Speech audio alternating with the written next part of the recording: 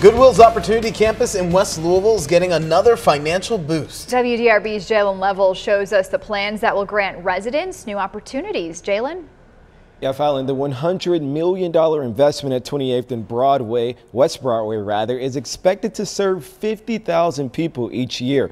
Thursday, the City Council approved an additional $3 million for this development.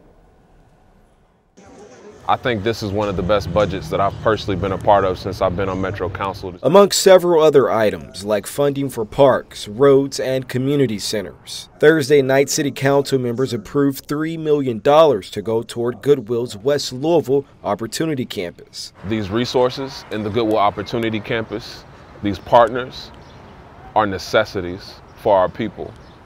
And city government is recognizing that. That Yes Vote recognized that.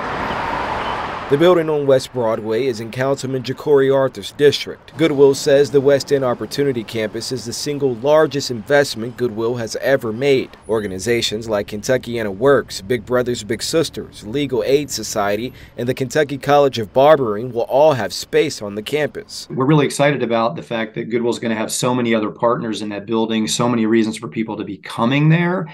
It's really going to be a true opportunity campus. The site will also become home to the first hospital west of 9th Street in more than 100 years. Organizers say the campus is being built to focus on an underserved community that will soon have access to health care and a one stop shop for things like haircuts, dental care, and financial services. I will tell you, all kinds of companies, all kinds of nonprofits, and certainly the city of Louisville are leaning in to try to address those inequities and the investment of the city into the opportunity campus and what's going to be happening there represents one of a bunch of those kinds of opportunities that are really meant to say to West Louisville residents, if you're looking to try to make a change in your life, we can help you do it.